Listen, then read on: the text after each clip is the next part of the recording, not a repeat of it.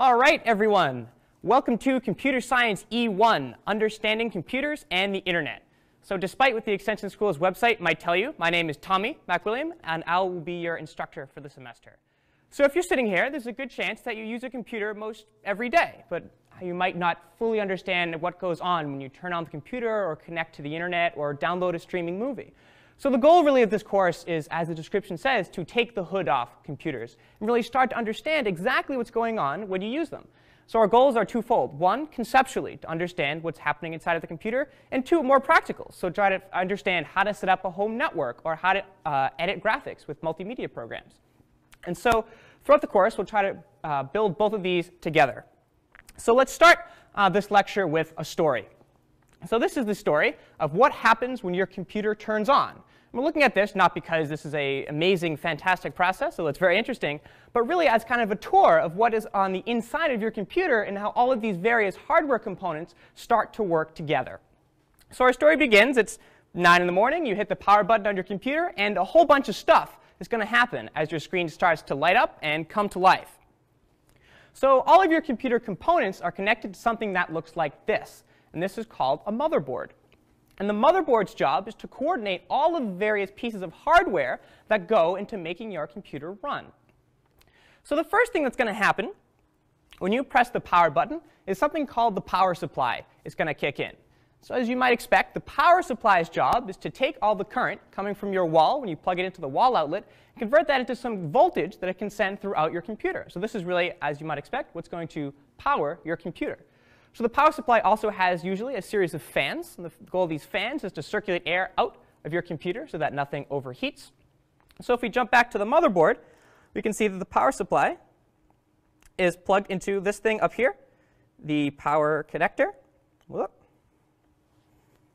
So right up here, the 24-pin power connector. So this is where the power supply is going to plug in to your motherboard. So now that your computer has power, it needs to somehow know what to do with it right? We can't just plug something in and all of a sudden expect our computer to be able to connect to the internet and watch cat videos. So the goal of the BIOS, or the Basic Input-Output System, is to tell your computer what to do as soon as it has power. So this really plays a crucial role in the setup of your computer, right? This is the first instructions that your computer needs to execute in order to turn on. So if we look at the picture again, the BIOS is located up here in the top right. So we see this little flash chip and we'll learn more about what that means later. But all the instructions that, are that explain to your computer how to start up and how to get going are actually contained on this entirely separate chip, because this is so super important. So what does the BIOS do? The first thing it's going to need to do is it needs to read some settings about your computer, maybe what time it is or some other information about the various hardware components that are connected. And to do that, it's going to read from something called the CMOS. And this stands for complementary metal oxide semiconductor. So if you're looking for the impressive sounding acronym of the day, this is it. And so this is where things like your system's date and time are stored. And so the BIOS is going to read from this uh, in order to get some basic information. So it's really important uh, that this information isn't lost if your computer loses power or you turn it off. So it turns out that this information is actually powered by its own separate battery, uh, which is really nice. It's a little lithium battery um, that's not unlike uh, what you might see in a watch. So here on our motherboard again, right here in the middle, is our little CMOS battery. And this is what makes sure that our computer doesn't lose these super important settings uh, when it turns on and off. So we can also change these settings, much like you can change the time on your computer. The data that's stored inside of the CMOS is not uh, by any means permanent. So the next thing that BIOS is going to do once it reads these basic settings is it's going to perform a series of tests to make sure that your hardware is working correctly. Because you know, if we have something like a faulty component on our motherboard, we don't want to continue the startup process because our computer is not going to work. So the first thing it's going to test is to make sure that our video is working correctly. Right? And so in order to display anything helpful to you, our computer needs to somehow know how to fill in the pixels on your screen. And in doing so, be able to display perhaps some helpful error message. So the computer's graphics card is a little piece of hardware uh, that's in charge of writing all of this output to the screen. So your graphics card might connect uh, via one of these things over here. So these are PCI slots on the right side here. So these PCI slots are designed uh, to give your motherboard some more expandability. So right now your motherboard has, as you can see, all these different components built in. But there's a good chance that you probably want to extend your motherboard with something like a graphics card or even a flash drive. So slots like the PCI slot make this totally expandable. And so you might want to add a new graphics card or even a new sound card, and it could plug into one of those slots over on the right here. So next to it is also this thing called a PCI Express. This is basically just a newer version of the PCI slot. It's, it's faster, it's better, um, all, but some motherboards might also have these older slots for kind of legacy hardware. So the newest kind of graphics cards I might plug into something called an AGP port, uh, which is not pictured here. Um, but does anyone happen to know of any graphics cards brands? There are kind of two major ones out there. Does anyone know of any? Yeah, so ATI or NVIDIA. And these are two kind of uh, competing companies. And these are two manufacturers whose job is really just to make these things that power your graphics. So things like high performance gaming or other things like that will probably want some dedicated graphics card to make sure that your computer is getting the performance that you want. All right, so after we've made sure uh, that our graphics cards are working, and here's just what a graphics card could look like. Over here on the right, uh, you can see these little yellow strips, and this is exactly where it's going to plug into the motherboard. So you can see here that this would kind of fit into one of those slots over to the right where we were looking. So then we're going to continue our series of tests, and these are now going to be called the post. So the uh, power on self test. So the motherboard is going to test itself so unfortunately, if you're reading around, you might see these referred to as post tests, uh, which happens to stand for the Power On Self Test Tests. So it's one of those acronyms like ATM machine, which is automated transaction machine machine, or PIN number, personal identification number number. Um, so when we hear of post, we're actually referring to this actual series of tests. So the next thing we're going to test is the computer's memory. So your computer's memory uh, is stored in this thing called RAM which stands for random access memory. And you may have seen this term, you know, as you're shopping for a computer, you see your computer has some amount of RAM. So your computer's RAM is it's basically its short-term memory. So when you have a, a program running, like Microsoft Word or Google Chrome, that program needs to store data somewhere, whether it be temporarily downloading the images on a website or remembering what website you're currently browsing. It's going to do so in RAM. And so typically your computer has between 2 and 4 gigabytes of RAM. So it's not really doesn't make sense to store something like your entire movie collection in RAM. That will be stored somewhere else. So the amount of memory you have helps determine how many programs, for example, you can run at once. Right? If I have Google Chrome that wants about a gig of RAM, and I have Microsoft Word that wants another gig of RAM, eventually I'm going to have more, uh, more programs that want more RAM than I have. So uh, by basically upgrading our RAM or increasing the amount of RAM in our computer, that's going to help us do more things at once. So this is helpful for multitasking. So RAM uh, is stored in sticks of memory. So here in our motherboard, up on the top left, uh, you can see these four slots for memory. And so our little RAM looks like this. So this was taken out of a desktop computer, a very old one. So this is about 256 megabytes of RAM, which is not a lot by any stretch of the imagination. You can see here that this would fit nicely into my desktop motherboard up on the top left slots there. So your laptop, on the other hand, might have a much smaller motherboard and might have smaller RAM. So they'll come in different sizes. And this is a stick of RAM that might plug into a smaller computer. As you can see, it's just smaller um, than the one that I held up. OK, so now your computer says, all right, I can display things to the screen. I'm able to save things in my short-term memory. So Google Chrome is going to be pretty happy with me. The next thing I want to do is determine if there are any peripherals plugged into the computer. So peripheral is just any external hardware that you might plug into one of the ports on the outside of your computer. So what are some peripherals or some hardware that you plug into your computer most every day? What's that? Yeah, so a thumb drive. So that's great. So a thumb drive is much like I have here, a little Mario head, is a little piece of external flash memory that you can plug into your computer and give it some more storage. So that's one. What else might you plug into your computer as a peripheral? Yeah, printer. So that's great. So a printer is the same way. So you're going to plug that into some port that you can reach. You know, you don't have to take apart your computer and plug it into one of the motherboard's PCI slot. This is something that you can actually reach and plug in. So printer, anything else come to mind? Yeah, mouse and keyboard. Great. Some other very helpful things to using a desktop computer. So these are all the things that the post is now going to make sure are plugged in and functioning correctly. So this motherboard here has a bunch of spaces to plug things into down at the bottom here. So over all the way to the right, we have a series of circular ports. So what might those be?